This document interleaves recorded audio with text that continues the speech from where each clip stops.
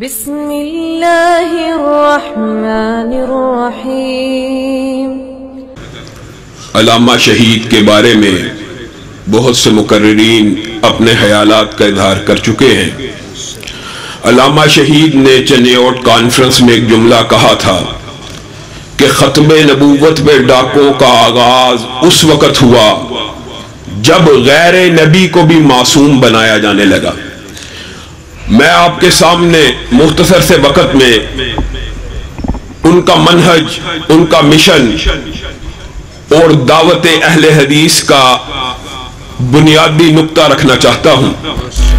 सबसे पहली बात यह है, हमारे मुआशरे में दौरे हाजिर के अंदर बहुत ज़्यादा अशकालात हदीस के हवाले से पैदा कर दिए गए हैं।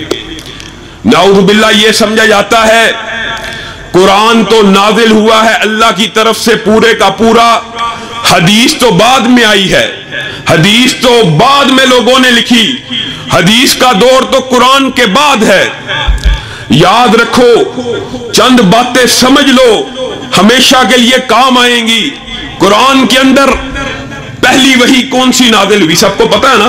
कौन सी नादिल हुई? इकरा। कहाँ पे मौजूद है? कुरान का इब्तदा किससे हो रही है? सूरत फातिहा के बाद, सूरत बकरा से। इकरा कहाँ पे है? तीसवें पारे के अंदर। अगर इनका दावा, इनकी बात को सच माना जाए और हदीस की हुज्जत का इनकार किया जाए तो कुरान पाक की इब्तदा इकरा से होनी चाहिए थी। होनी चाहिए थी कि नहीं? पहली वही थी पहले। आहर में किसने भेजी? नबी करीम सल्लल्लाहु अलैहि वसल्लम ने कहा ये आयत आज नाजिल हुई है। ये आयत अब नाजिल हुई है। फला सूरत की है। फला मौके पे रखी जाएगी। फला मुकाम पे रखी जाएगी। बात समझ आ रही है कि नहीं? जो बंदा सिर्फ़ कह रहा है कि जी, मैं सिर्फ़ कुरान को मानता हूँ। सिर्फ़ मैं कुरान को मानता हूँ। ये फितना मुआशरे में मौजूद है। और आजकल बेनतहा है। मैं जी सिर्फ़ कुरान को मानता हूँ। कुरान तेरे पे नाजिल हुआ तू कुरान को मानता तुझे किसने कहा ये कुरान है? नबी करीम सल्लल्लाहु अलैहि वसल्लम ने फरमाया, ये अल्लाह का कलाम है। हमने मनवन तस्लीम कर लिया, अल्लाह का कलाम है। क्या आप पे और मेरे ऊपर नादिल हुआ नहीं, किसके ऊपर नादिल हुआ है? नबी करीम सल्लल्लाहु अलैहि वसल्लम के ऊपर नादिल हुआ। उन्होंने बतलाया, ये कुरान है, हमने मान लिया। याद रखिए, नबी करीम सल्लल्लाहु अलैहि वसल्लम दुनिया से चले गए। कुरान मुकम्मल कंपाइल नहीं था, किताबी शक्ल में मौजूद नहीं था। सहाबा आ रहे हैं गवाहियाँ दे रहे हैं। वाक्य एक ही याद कर लो तो हमेशा के लिए काफ़ी है। एक ही वाक्य गवाही दी जा रही है, आयात रखी जा रही है। दो गवाहों दो गवाहों को लाया जाए। दो गवाह आते हैं। आयत ये जी मैंने सूरत बकरा में इस आयत के बाद सुनी। इस आयत के बाद सुनी। वैसे वैसे वैसे वैसे कंपाइल होता जा रहा है। कुरान मुकम्मल हो चुका है। एक सहाबी नाम याद रख लो, हज़रत हुजैमा अंसारी। हज़रत हुजैमा अंसारी आते हैं। कहते हैं सूरत अहदाब की तेईस नंबर आयत, तेईस नंबर आयत। कहते हैं, मिनल मोमिनीना रिजाल मैंने ये आयत नबी करीम सल्लल्लाहु अलैहि वसल्लम से इस आयत के बाद सुनी थी। उनको कहा जाता है, गुआहों को लेके आओ, नहीं तो तुझे कोड़े पड़ेंगे। हदीस की हुज्जत की बात हो रही है। कि कुरान पाक की कंपाइलेशन कुरान पाक की तरतीब, कुरान पाक की ये जो सफाबंदी, कुरान पाक के अंदर आयत के बाद आयत का होना, हदीस का मुहताज है। वजह क्या है? हज़रत हुजैमा दौड़ते हैं, भागते हैं। उनको कोई गवाह नहीं मिलता, इस आयत का अकेले हाफज है। पूरी दुनिया के अंदर एक अकेला हाफज है, लेकिन मुसीबत ये है, दो गवाहियों के बगैर शामिल नहीं हो सकता। लोगों, ये वही हुजैमा हैं कि एक मरतबा नबी करीम सल्लल्लाहु अलैहि वसल्लम का झगड़ा हुआ यहूदी के साथ। यहूदी के साथ झगड़ा हुआ। नबी करीम ने कहा, कौन मेरी गवाही देगा? हुजैमा अंसारी ने वाकया ना सुना, न देखा। हाथ बुलंद किया और कहा, मैं मोहम्मद रसूलुल्लाह सल्लल्लाहु अलैहि वसल्लम की गवाही देता हूँ। नबी करीम ने उस वक्त जो अल्फाज कहे पास साहबा बैठे कहते हैं हुजैमा आयत मुझे याद नहीं है। लेकिन चल, मैं गवाही देता हूँ। जिस वक्त तूने नबी करीम की गवाही दी थी तो आका ने इस बात का ऐलान किया था कि आमद के दिन तक हुजैमा तेरी अकेले की गवाही दो के बराबर होगी। इस एक हदीस की वजह से कुरान पाक में आए दाखिल बात समझ आ रही है कि नहीं? बात मुश्किल नहीं है। कुरान पाक की सारी की सारी तरतीब किससे लगी? हदीस के ज़रिए लगी। कोई बंदा ये उठे और के, मैं कुरान को मानता हूँ। तेरे पे कुरान नाजिल हुआ? तू कुरान को मानता है? जो बंदा कुरान के बाद हदीस को ना माने उसको मुनकर हदीस कहा जाता है। और मुनकरी हदीस के लिए कुरान में मुतद आयते हैं, लेकिन एक आम फहम जटकी मिसाल है। आप में से लोग कोई दर्दी का काम करता है, कोई मुख्तलिफ़ काम करते हैं, उसके पास कोई बंदा आए और के, ये सैंपल है। और सैंपल दे ना, और के इसके मुताबिक काम कर दो। बार बार के सैंपल के मुताबिक काम कर दो। तीसरी, चौथी मरतबा आप कहेंगे, यार ये कितना बेवकूफ़ आदमी है। सैंपल दे नहीं रहा और कह रहा सैंपल के मुताबिक काम कर दो। लकद कान उसवतुन हसना। लोगों, नबी करीम सल्लल्लाहु अलैहि वसल्लम की ज़िंदगी तुम्हारे लिए नमूना है। नमूना ही महफूज नहीं मोहद अल्लाह। अल्लाह ने नमूना महफूज नहीं किया। और तुम्हें और मुझे कह रहा है, इसकी पैरवी करो। मुआद अल्लाह अल्लाह रब्बुल इज़्ज़त हमसे मज़ाक कर रहे हैं। पूरी ज़िंदगी किसकी नमूना? नबी करीम की। अगर ज़िंदगी महफूज ही नहीं हमसे कैसे मुतालबा कर सकता है? इसका मतलब यह है, नबी करीम सल्लल्लाहु अलैहि वसल्लम का कोल, फेल, उठक, बैठक, नशिस्त, बर्खास्त, रात का सोना, हत्ता के बैतुल खला में जाना, बीवियों के पास जाना, तमाम जो शरीयत को मतलूब असूल थे, उनमें से कोई एक असूल ऐसा नहीं है जो नबी करीम सल्लल्लाहु अलैहि वसल्लम से साबित ना हो। और इसी वजह से नबी करीम तो कह रहे हैं, बताओ, मैंने पूरा दिन पहुँचा दिया। साहबा कह रहे हैं, पहुँचा दिया। आज का मौलवी कहता है, नहीं पहुँचाया। आज का मौलवी टीवी पे बैठा होता है। जिस हदीस को दिल करे मान लिया, जिस हदीस को दिल करे इनकार कर दिया। ये अजीब फलसफा। अपनी तरफ़ से, अपने जहन को हदीस के मुताबिक लड़ाना। अल्लाह के नबी के ऊपर आयत उतरी है। दीन मुकम्मल है। दीन इस्लाम मुकम्मल है कि नहीं? दीन मुकम्मल है कि नहीं?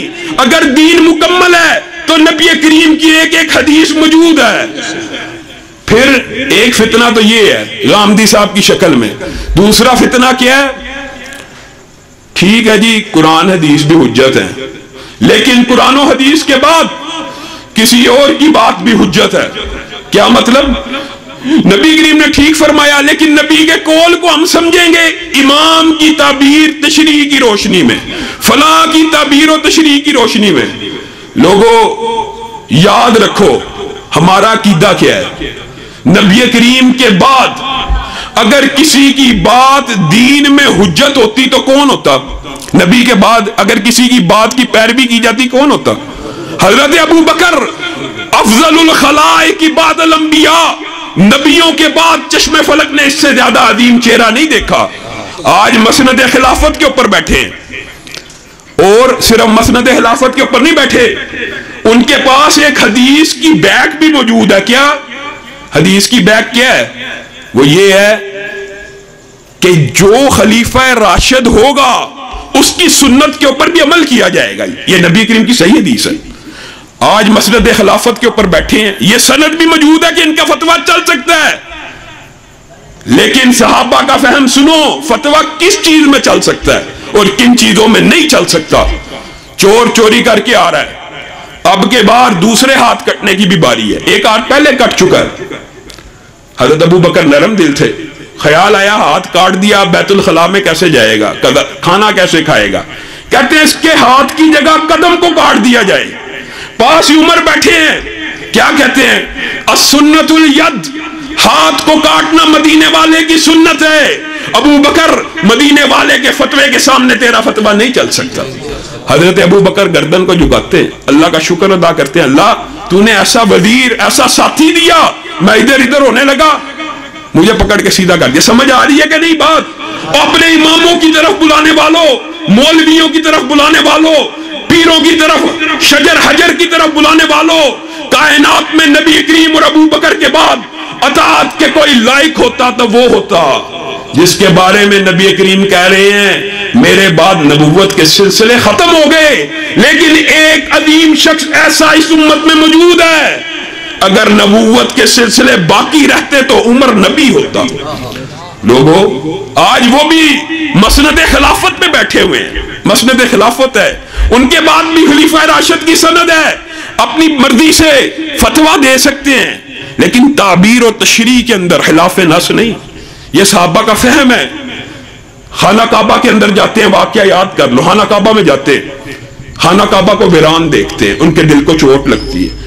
कहते हैं, ये जो अरबी लोग हैं ना, हाजी, ये बड़े तेज हैं हज तमत्तो करते हैं। हज तमत्तो ऐसा हज जिसके अंदर उमरा भी हो जाता है। जाके जो हम लोग करते हैं, उमरा किया, एहराम उतार दिया, बाद में हज किया तो एक ही सफ़र में उमरा भी हो गया, हज भी हो गया। तो हज़रत उमर ऑर्डिनेंस जारी करते हैं। कहते हैं, आज के बाद हज तमत्तो के ऊपर उम्र पाबंदी लगाता है।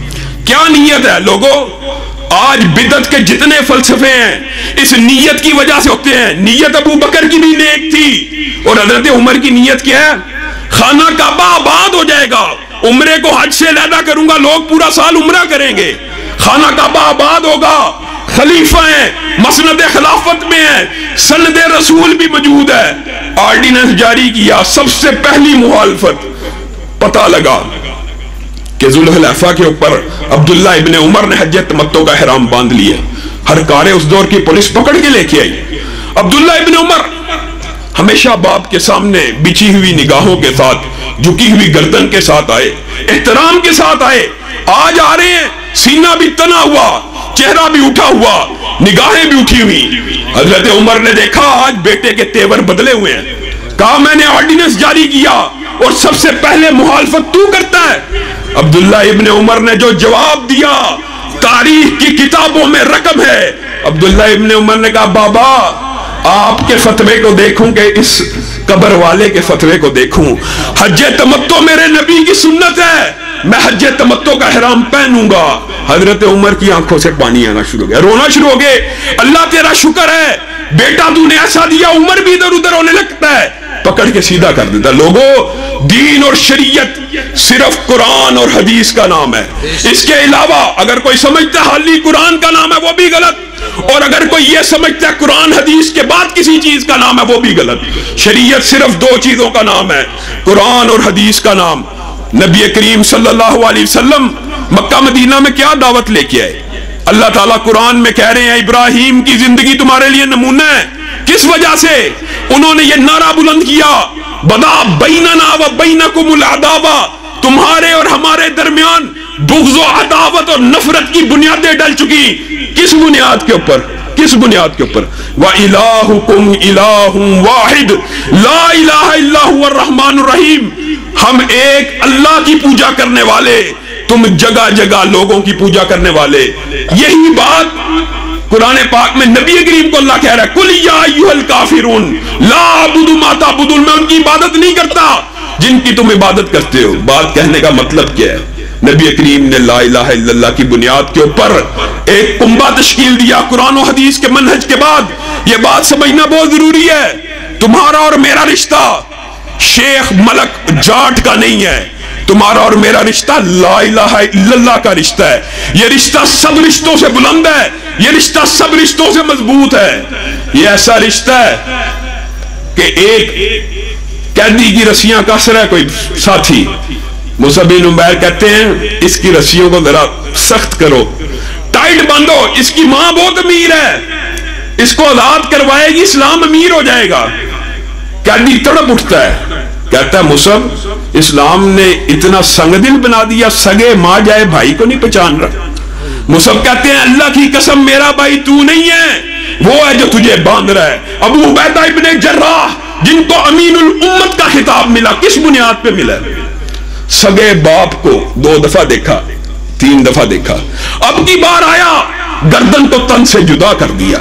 इस्लाम की इमानत की हिफाजत कर ली, लोगों, तुम्हारा और मेरा रिश्ता, ला का रिश्ता है। और यही वो बरादरी है, यही वो कुंबा है। जिसके ऊपर लाजिम है, जिसके ऊपर लाजिम है, हम हम सब के ऊपर फ़र्ज़ है कि इस्लाम के निफाज के लिए अपने घरों में भी कोशिश करें, लेकिन बाहर भी करें। यह अजीब फलसफा पैदा हो गया है जी इस्लाम का ताल्लुक सिर्फ़ मस्जिद तक है। मस्जिद में तो इस्लाम होना चाहिए, लेकिन दुकान पे नहीं होना चाहिए। हज़रत शुएब की कौम भी तो यही कहती थी ना कि तुम्हारी नमाज़ हमारे बाज़ार में आके क्या करती है? आज हमारा अकीदा ये हो चुका है, नबी करीम हमारे इमाम है, नबी करीम हमारे रहनुमा है, रहबर हैं। लोगों, अगर नबी करीम तुम्हारे रहबर, रहनुमा है तो अल्लाह की कसम अपने दिल को टटोलो। वो सियासत में तुम्हारे रहनुमा, रहबर क्यों नहीं? सियासत में तुम्हारे रहनुमा, रहबर, कभी नवाज़ शरीफ है, कभी इमरान खान है, कभी बेनजीर भुट्टो है। सियासत के अंदर भी अगर इमाम बनाना है तो नबी करीम सल्लल्लाहु अलैहि वसल्लम को बनाओ। और यही अल्लामा शहीद की दावत थी, यही उनका मिशन था। और इसी बात को सारी ज़िंदगी करते रहे। और जब इस बरादरी को मज़बूत किया, ला इलाहा की बुनियाद के ऊपर, उस वक्त भी दरबारी और सरकारी जैसे मोलना बयान कर रहे थे। मौजूद थे उन्होंने कहा था, उस वक्त भी, लोगों, जब भी कोई ला इलाहा की दावत दे, ला की बुनियाद पे कुंबा बनाए, ला की बुनियाद के ऊपर सियासत करे, उसकी शदीद मुखालफत होती है। और हैरान कुल बात यह है कि अपने लोग ही मुखालफत शुरू कर देते हैं, जिनके ऊपर लादिम है कि वो हमायत करें, वही मुखालिफ हो जाते हैं। ला का परचम जब भी किसी ने उठाया दरबारियों और सरकारियों ने इमाम अहमद इब्न अंबल को क्या कहा छोड़ दो, मिल जाओ, मसलहत कर लो, झुक जाओ। इमाम अहमद इबन हम्बल ने कहा था अलफर्क जनाइज, तुम्हारा और मेरा फ़र्क उस दिन ज़ाहिर हो जाएगा, जिस दिन जनाजों को उठाया जाएगा। बादशाहों के जनाजे भी लोगों ने देखे, कंधा देने के लिए कोई नहीं आया। तनहा इमाम अहमद इबन हम्बल के जनाजे के अंदर 18 लाख मुसलमानों ने शिरकत की, अस्सी हज़ार यहूदी और ईसाई सिर्फ़ इमाम के जनाजे को देख के मुसलमान हो जाते। अलामा शहीद ने भुट्टो और व्याउल हक के खिलाफ जब इसी नारे को बुलंद किया था, दरबारी और सरकारियों ने कहा था, मिल जाओ, मुफाहमत कर लो। उस वक्त अलामा शहीद ने कहा था अलफर्क बैना व बैनकुम योमल जनाइज। तुम्हारा और मेरा फ़र्क भी उसी दिन ज़ाहिर होगा जिस दिन जनाजों को उठाया जाएगा। और तुमने देखा, वो लोग भी दुनिया से चले गए। लेकिन अलामा शहीद के जनाजे की बारी आई। पहली मरतबा तकबीर हुई तो हाना काबा के अंदर। दूसरी मरतबा तकबीर हुई तो मस्जिद मदीना के अंदर। लोगों, मिशन, मकसद, ज़िंदगी आनी जानी है। सबने मर जाना है। तहकीर की बात नहीं है। कोई ट्रक के नीचे आके मर जाता है। कोई बिस्तर पे एड़ियाँ रगड़ रगड़ के मर जाता है। अल्लाह की कसम, अजमत की मौत वो है जो निफाज इस्लाम के लिए ऐसी हो, खून का कतरा ज़मीन पे गिरने से पहले अल्लाह सारे गुना माफ़ कर दे। अपनी जिंदगियों को निफाज इस्लाम के लिए वकफ कर लो। वाहिर माशाल्लाह, ये थे मोहतरम जनाब शामिल अली जहीर साहब जो आपके सामने अपने ख्याल का इजहार फरमा रहे थे तो मैं तमाम भाइयों से शुराए अलामा शहीद कॉन्फ्रेंस से इल्तमास करूँगा। आप तशरीफ़ रखें। अभी हमारे पास साहिबजादा अबू बकर सुल्तान साहब के बाद मेरे इंतहाई मुशफिक और मोहतरम भाई, जनाब प्रोफेसर